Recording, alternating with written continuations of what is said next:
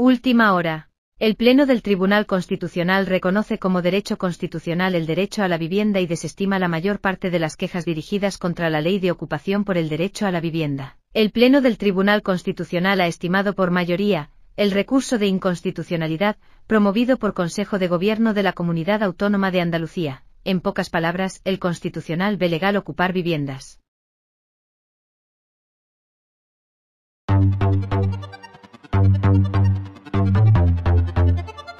Thank you.